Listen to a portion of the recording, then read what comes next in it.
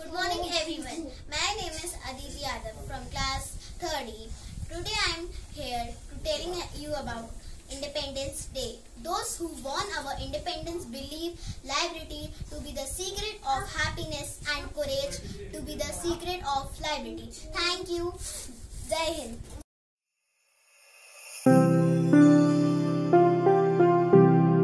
Thank you.